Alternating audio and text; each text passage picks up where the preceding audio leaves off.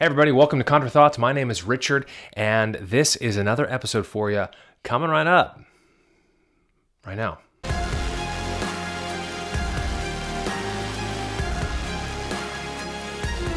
All right, welcome, welcome, welcome, new subscribers, welcome, new people just watching, uh, and anybody else. But if you're watching or you're a subscriber, that's really everybody, isn't it? If you're not subscribed, please subscribe. Mash that like button, smash it, some people like to say. And if you don't, how dare you? Who do you think you are? Don't turn off. Hold on. Ah, ah, ah. You like those ads when people are like, no, stop. And you're like, yeah, skip. Anyway, so no, that's from Mark Driscoll, uh, the clip from The Rise and Fall of Mars Hill. That's what we're talking about today. That's why you clicked on this, hopefully. Maybe you just accidentally clicked on it. I don't know. You like my books in the background. These are real books, by the way. Let's see, There's, they're real. Miracle, C.S. Lewis, good book.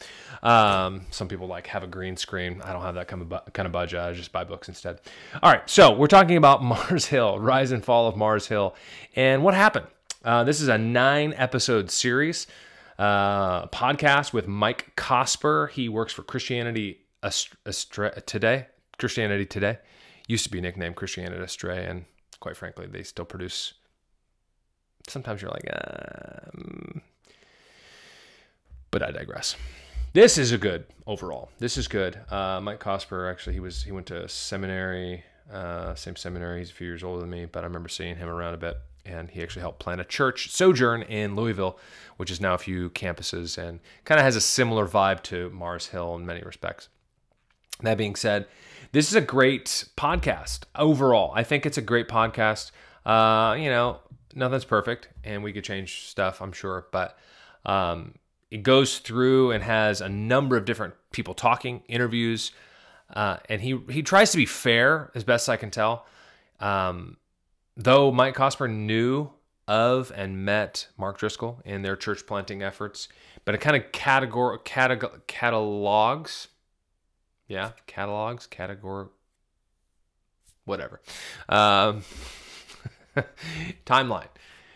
So Mars Hill starts in the mid 90s, right? And it's, you know, boomers are coming up and the internet is just right around the corner and a lot of things are really happening kind of you know the seattle grunge band from the nirvana age you have to remember history matters uh, and we always get theology we get um, movements we get things because of other things in the culture right we saw reactions in 2020 because of other things happening in the culture and things in 2015 and things in 1990 and so on and so forth and so that's why history, church history, art history, these things are are reactions and responses to what's going on. They're not isolated. That's why history is a great, great subject to study and to know. So if you don't like history, it's not just a bunch of dead people and dates. It's a lot. It's a lot more than that. So this is a category. It's kind of long form journalism they call it.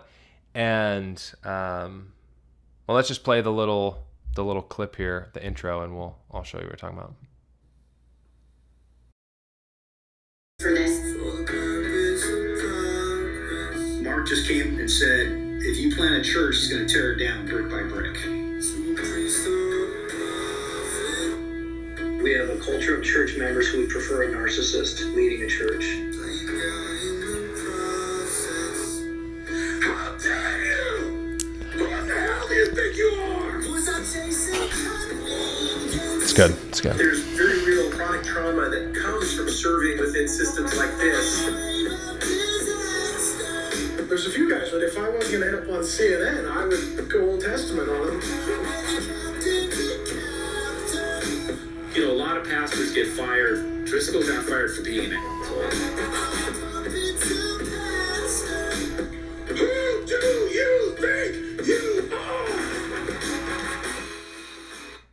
Okay, so uh, that's kind of the intro, right? And each each episode is about 50 minutes, an hour, something like that. Um, and it's pretty fascinating because you have people who are people who are on there and they're interviewing and Cosper is talking to these people and there's other clips from uh, conferences and sermons and it, it's done very well. It's very well done. And you know, it, it's even that intro though, you know, the guy he, he got fired for being an a hole. Well, actually, Mark Driscoll didn't get fired; he resigned, uh, and he, you know, he says that he got a vision, or, or rather, a voice from and his wife at the same time, basically. You know, you need to step down and, and move on. This was 2014. So everything kind of fell apart in 2014. And sadly, you know, there's no Mars Hill churches, right? Not not affiliated with anything that's was going on there in Seattle and a five state area of 15,000 plus people. Uh, it was kind of a micro denomination in one sense. And this catalogs a lot of that. Talks to a lot of different people, both men and women, uh, church leaders, and uh, pastors, authors, bloggers. And it just goes through and talks a lot about um, just you know accusations of bullying. You know, we had the Me Too movement from a few years ago, both in the culture and even in the church, and a lot of that is is is people getting attention. Let's be honest, um, but not all of it, right? It not all of it. It definitely is something that we need to be aware of because people are sinners, people are wicked, uh, and even believers, people followers of Jesus, fall into sin. Right? That's why we need Jesus. That's why we need His gospel and His grace. Not just something like, well, you know, I'm, I'm a good person now and I'm now exempt of these things. No, we're called to put on the full armor of God. We're called to walk by the way. We're called to, you know, refuse evil and cling to good and so on.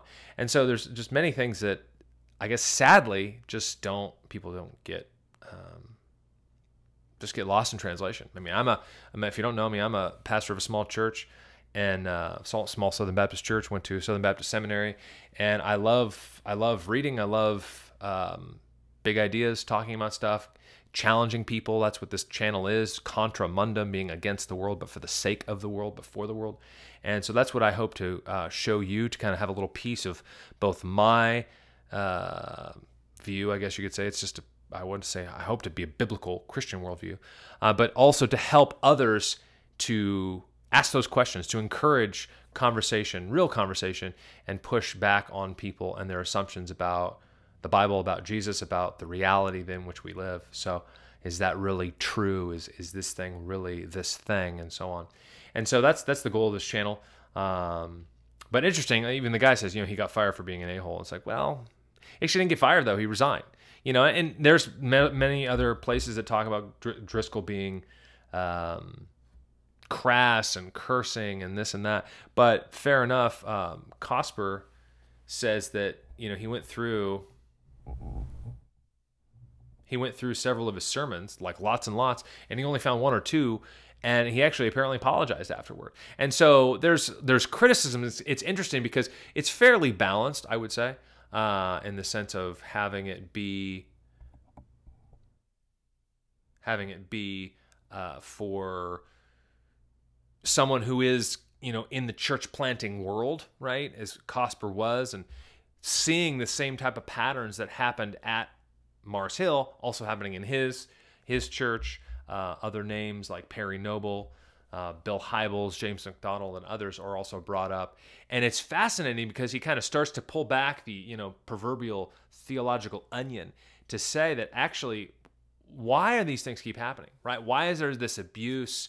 Uh, you know, spiritual abuse is kind of a loose word that people want to get attention for, and okay, and maybe you know people are, but how do you get? How do you really do that? That's kind of my question. Like, I don't know. Maybe drop a comment below. Tell me what a spiritual abuse is because it's hard you know i don't want to do it right as a pastor and just as a father and and as a husband but sometimes we have such thin skin in our culture uh, and even in the church that we can kind of be a little offended at every little thing right? And i saw this a bit in seminary especially even in the undergrad uh, part of, of the seminary but that's another another conversation for another time. Uh, but mark did have the the moniker of the cussing pastor, right? Like I said, but Cosper, the the author of this, he didn't really see that. He didn't really see much of that really at all, especially from the pulpit. Now, in different conversations, maybe maybe different.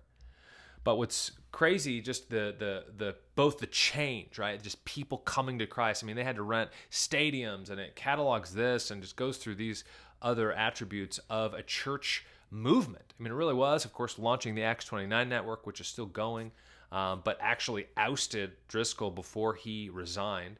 So it, it's it's kind of this like back and forth, like, well, was it all Driscoll's fault? Was it some of his fault? Was you know, was he hoodwinked? I mean, he's still he pastors now. He planted a church a couple years later in uh, Scottsdale, Arizona now, and so he's doing that. Definitely, I think learned a lot of lessons, uh, if you could say. But he is definitely known. If you don't know Mark Driscoll, Driscoll, uh, I listened to a handful of sermons. I never really got much into it. I had a few buddies in California where we're from uh, back 12, 13, 14 years ago. You know, kind of before YouTube was really much of a thing. Um, regularly would do it, but they would see that as their church, even though they weren't going to church, right? And it's like, well, he's not really your pastor. Like, you want to listen to a good sermon, fine. You want to listen to me or somebody else, fine. But I'm not your pastor, right? He's not your pastor. And so you need a local church. You need a local pastor who knows who you are, who can look at your face and talk to you, and you can talk to him and so on. And so it's, it's, it's a, it's a lot of food. there's, a, huge buffet and just like it's all here. And um, Cosper seems to do a fine job at kind of really organizing it and just showing overall what's going on. I would recommend it overall. Um, you know, but it, one of the things that kind of stuck out was a lot of people just again that dichotomy of some people were like, yeah, he's abusive. Yeah, this is harsh. I mean, there's the clip of, you know, hey, there's a bus. We're on the Mars Hill bus. I'm driving the bus. Some people are going to try and drive, and I'm not going to let them. And other people, I'm just going to kick off. And other people, we're just going to run over. We're just going to run them over. And it's like, I don't know, man. I mean, like, I get it. You want to be direct, and you know, men are squishy, right? There's a lot of just spineless men out there, and there's a lot of women who usurp men's roles, and or men who fall into and usurp female roles, and basically going against the Lord's uh, desire for his church and just the culture in general. But you know, like there isn't there is such a pendulum swing of like, well, you know, men are this, you know, and we have a lot of this with even fundamentalist of whatever, you know, women have to wear dresses and men have to wear pants and men have to drive trucks and women have to cook and men only work and women only stay home and so on and so forth. Now, I'm a big advocate of home education and uh, having defined roles uh, to a degree, but there's also a level of, I mean, where does it say that guys can't cook? And I'm not just talking about grilling and barbecuing. I'm talking about cooking. I'm talking about doing dishes. Why can't why can't I pick up the that? Why can't I do these other things? I mean, we are there is a level of submission to the Lord um, unto each other, and so it's I don't know. There's just been a lot of stuff over the decades, probably in the last 80 to 100 years, and just the kind of the modern church of roles and yes, there are distinct roles in the church, especially and in the family, right? The head is the how the man is the head of the household, just like Christ is the head of the church. I mean, you can't get around that. That's just you just can't get around that. Now, you can try and deny it or redefine it, I guess. But pastors are men. If you have a female pastor, you don't have a pastor. It's just not a pastor. Um, Titus, Timothy, Corinthians, every other place in the Bible um, says that. And so, or alludes to that. I mean, all the disciples, 12 disciples, they're all men. All the authors of Scripture were men. I mean, there's reasons behind this. It's not misogynistic, it's what the Scripture says. If you don't have a problem with it, take it up with God. And so, there are levels of that, yes.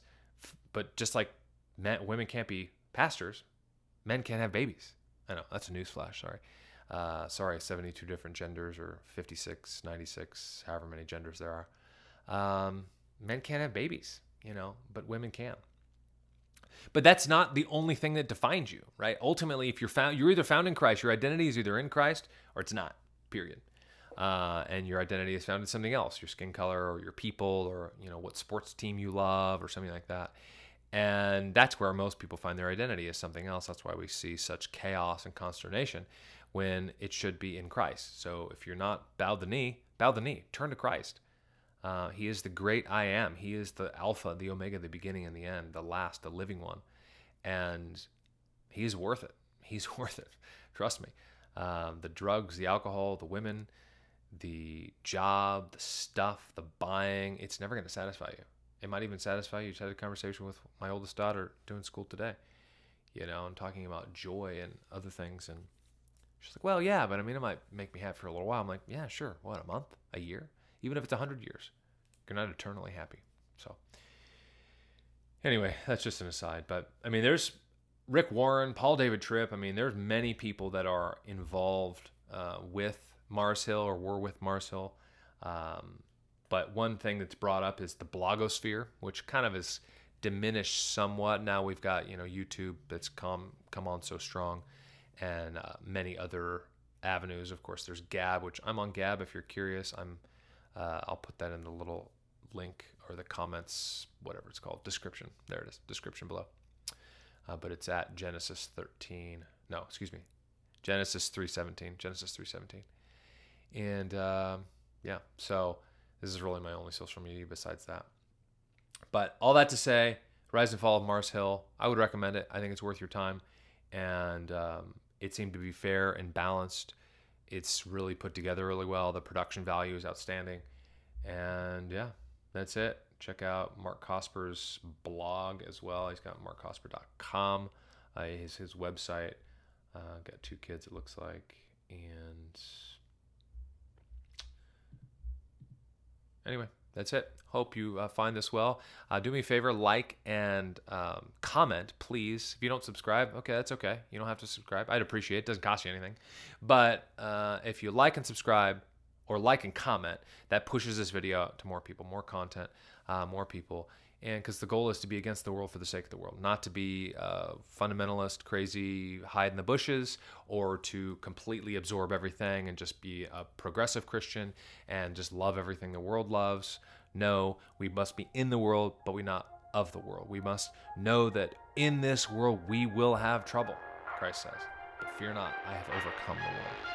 So that's the goal for this channel. I hope this finds you well, and uh, have a great day. Take care.